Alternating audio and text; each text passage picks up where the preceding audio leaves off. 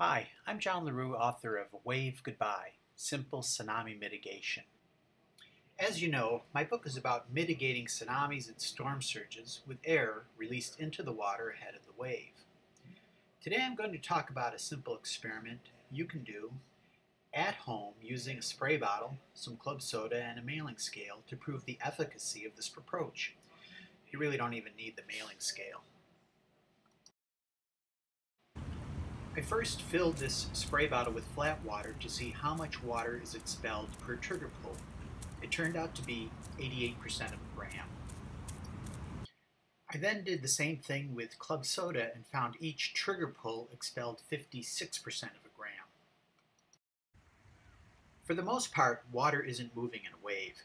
It's just energy traveling toward a shore. One gram of carbon dioxide is contained in 162 grams of club soda.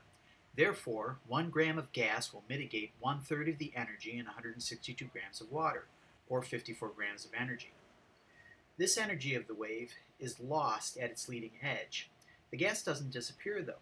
If the wave is 10 meters wide, it will mitigate the energy 1,000 times more. In short, you can neutralize all of the energy required to throw 1 billion liters of water up onto land with less than 18,000 kilograms of gas. This example used CO2, but it would work just as well with air.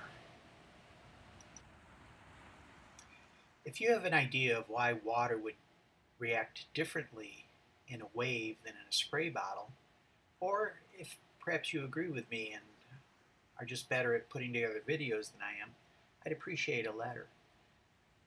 I can be reached at tsunamiwavestopper at gmail.com.